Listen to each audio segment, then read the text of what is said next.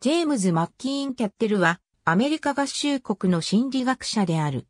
アメリカ初の心理学の教授であり、ケンブリッジ大学、ペンシルベニア大学を経て、コロンビア大学心理学課長を務めた。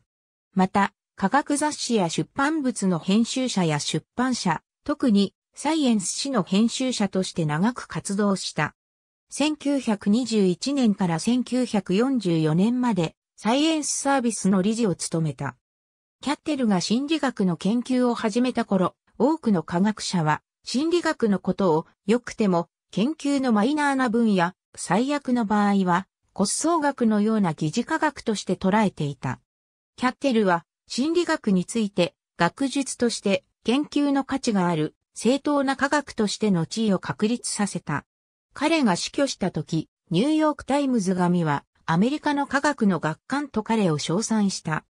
19世紀当時、新大陸アメリカでの心理学は、アメリカ心理学のソウィリアム・ジェームズが、ドイツのビルヘルム・ブントが開始した実験心理学を導入し、その上で心の機能的的意味を強調するところから発展した。当時のアメリカの学生の多数がブントの下で学び、帰米して各地方に実験場を開設した。それで表面上はドイツ的であったが、内容は文とよりむしろフランシス・ゴールトンに近いものであった。キャッテルは、そんなアメリカ心理学の指導者の一人で、個人差の研究に貢献した人物だった。彼の研究には、反応時間の研究、連想時間の測定、読書時間、誤差の法則、メンタルテストなどがあり、クラーク・ハル、エドワード・ソーンダイク、ジョン・ビー・ワトソンなどにも影響を与えた。キャッテルは第一次世界大戦へのアメリカの関与に対して反対の姿勢を貫いたことでもよく知られている。彼が徴兵制に公然と反対したことでコロンビア大学は彼を解雇し、これは後に評判の悪い信念を保護する手段として多くのアメリカの大学がテニアを確立する動きにつながった。1860年にペンシルバニア州イーストンで裕福で名家の長男として生まれた。彼の父、ウィリアム・キャサディ・キャッテルは、長老派の牧師で、ジェームズの誕生後間もなく、イーストンのラファイエット大学の学長に就任した。父ウィリアムは1859年にエリザベス、リジー・マッキーンと結婚し、リジーが相続していた多額の遺産を共有していた。この家族の成功の背景には、財力の他に政治的なものもあった。ジェームズの叔父のアレクサンダー・ギルモア・キャッテルはニュージャージー州選出の上院議員だった。1876年に16歳でラファイエット大学に入学し、4年後に首席で卒業した。1883年にラファイエット大学の修士課程を首席で修了し、修士号を授与された。後に心理学者としての名声を受けることになる彼だが、ラファイエット大学では、イギリス文学に熱中し、また、数学の顕著な才能を示した。キャッテルは、ラファイエット大学在学中に、文献学者のフランシス・マーチに大きな影響を受けたと後に述べている。修士号取得後はドイツに留学し、ライプツィヒ大学で実験心理学の父、ビルヘルム・ブントに出会って、彼は天職を見つけた。また、ゲッティンゲン大学でヘルマン・ロッツェに師事し、ロッツェに関する論文で、ジョンズ・ホプキンス大学のフェローシップを得て、1882年10月にドイツを離れた。このフェローシップは更新されず、翌年には、ブントの助手として、ライプツヒに戻った。ブントとキャッテルとのパートナーシップは、知能に関する正式な研究を確立し、非常に生産的な証明した。キャッテルは、ブントの指導のもとで、心理学の分野で論文を公開した最初のアメリカ人となった。彼のドイツ語の論文のタイトルは、サイクアメトリシア・アンタースーシャーンガンだった。この論文は1886年にライプツヒ大学で受理された。キャッテルは当時は合法だった薬物、8種の摂取を通じて自分自身の心の内部を探求しようとし、物議を醸した。この薬物の影響下でキャッテルは小学生の口笛を交響楽団に例えたことがある。1886年にドイツで文との指導の下で PhD を取得した後、イギリスのケンブリッジ大学で講師を務め、セントジョンズカレッジのフェローとなった。時折、アメリカを訪れ、ブリンマー大学とペンシルバニア大学で講義を行った。1889年にアメリカに戻ってペンシルバニア大学の心理学教授に就任し、1891年にはコロンビア大学に移り、心理学、人類学、哲学の学科長に就任した。1895年にはアメリカ心理学会の会長に就任した。キャッテルはキャリアの最初の頃から科学や物理学などの自然科学と同じように心理学を研究する価値のある分野として確立するために努力してきた。実際彼はさらに調査を進めれば知能そのものが標準的な測定単位によって解析可能であることがいずれ明らかになると信じていた。彼はまたビルヘルム・ブントとフランシス・ゴルトンの研究手法をアメリカに持ち帰り、アメリカでの精神検査の取り組みを確立した。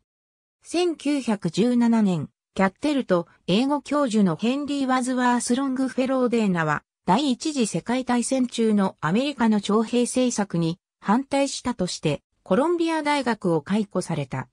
数年後、彼は大学を訴え、年金を獲得した。1921年、彼は和解で得たお金を使って、応用心理学の分野への興味を育むために、サイコロジカルコーポレーションを設立した。彼が心理学をどのように応用するかを説明することができなかったため、この組織は失敗に終わり、応用心理学の経験を持つ他の心理学者たちに引き継がれた。彼は自分の雑誌を創刊し、その観光を行うためのサイエンスプレス社を設立した。その後、1944年にペンシルバニア州ランカスターで亡くなるまで雑誌編集の仕事を続けた。当時の多くの著名な科学者や学者と同様に、キャッテルの思想は優生学の影響を受けていた。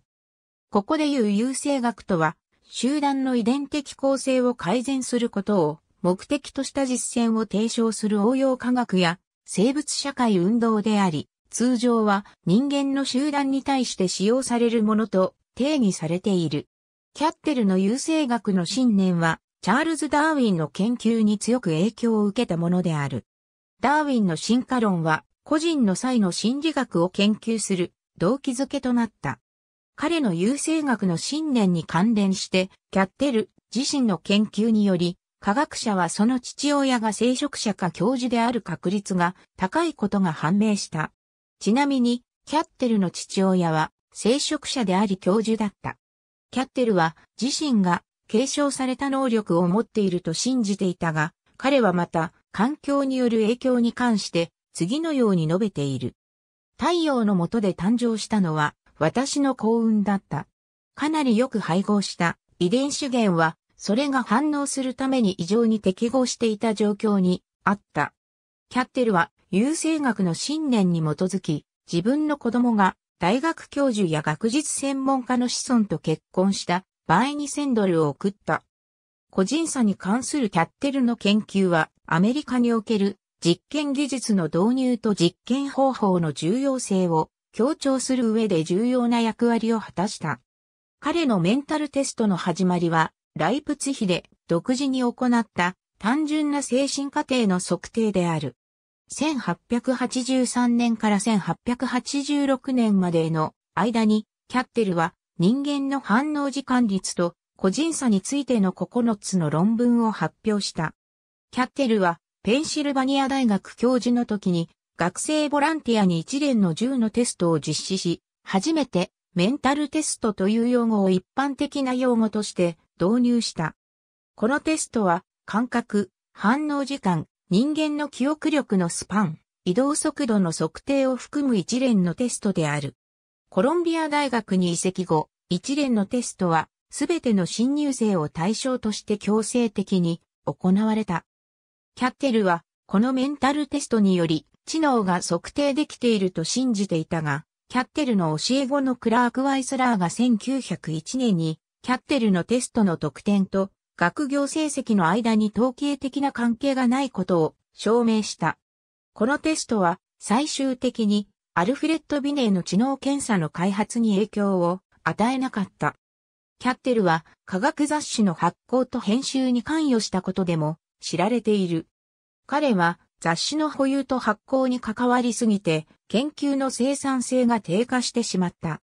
彼は1894年にジェームズ・マーク・ボールドウィンと共にサイコロジカル・レビュー誌を創刊した。また、サイエンス誌を買収し、それから5年でアメリカ科学振興協会の公式出版物とした。1900年には D、アップルトンカンパニーから月刊ポピュラーサイエンス誌を買収した。1915年に売却し、通俗科学誌となって今日まで続いている。その後彼は月刊ポピュラーサイエンスの確実的な伝統を引き継ぐサイエンティフィックマンスリーを創刊した。キャッテルはサイエンス誌の編集者を約50年務めた。その間、彼は心理学の実証的研究について雑誌で目立つように取り上げることで科学としての心理学を促進させた。科学としての心理学の発展に与えた彼の影響について、ルディ・ティ・ベンジャミンは古い科学の中で心理学の知名度と地位を大幅に高めたことは否定できないと書いている。キャッテルは超常現象の主張や心霊主義に懐疑的だった。彼は霊媒師、レオノーラ・バイパーを詐欺師だと退けた。彼はサイエンス史上で心理学者のウィリアム・ジェームズとパイパーをめぐる論争に巻き込まれた。彼はジェームズが超心理学の研究を支持していることに意味を唱えた。ジェームズへの手紙の中で、彼は、心霊現象研究協会は、心理学を傷つける多くのことをしていると書いている。1888年に英国商人の娘ジョセフィ・オーウェンと結婚し、7人の子供を設けた。子供たちは両親が講師となって自宅で大学前教育を受けた。家族全員がキャッテルの雑誌編集に関わっている。娘のサイキ・キャッテルは、父の後を継ぎ、児童心理学の実践を確立し、幼児の知能を評価するためのテストを開発した。ありがとうございます。